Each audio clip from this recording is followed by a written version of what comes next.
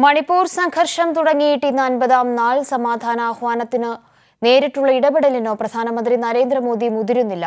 മണിപ്പൂരിലെ കലാപം അവസാനിപ്പിക്കാൻ ഇടപെടൽ തേടി ദില്ലിയിലെത്തിയ പ്രതിപക്ഷ പ്രതിനിധി സംഘത്തെയും പ്രധാനമന്ത്രി കണ്ടേക്കില്ല. പ്രധാനമന്ത്രിയുടെ ഓഫീസിന് നിവേദനം നൽകി പ്രതിനിധി സംഘം മണിപ്പൂരിലേക്ക് മടങ്ങിയേക്കും. പത്ത് പ്രതിപക്ഷ പാർട്ടികളിലെ നേതാക്കളാണ് കഴിഞ്ഞ ഒൻപത് ദിവസമായി ദില്ലിയിൽ തുടരുന്നത്. അതിനിടെ ആയുധം എടുത്തു പോരാടുന്ന മെയ്തി ഗ്രൂപ്പുകളോട് ആയുധം താഴെ വയ്ക്കാനും സമാധാനം പാലിക്കാനും മുഖ്യമന്ത്രി എൻ. ബീരൻ സിംഗ് അഭ്യർത്ഥിച്ചു. എന്നാൽ കലാപം തടയുന്നതിൽ കേന്ദ്ര സർക്കാർ പൂർണമായും പരാജയപ്പെട്ടുവെന്ന വിമർശനവും ശക്തമാവുകയാണ്.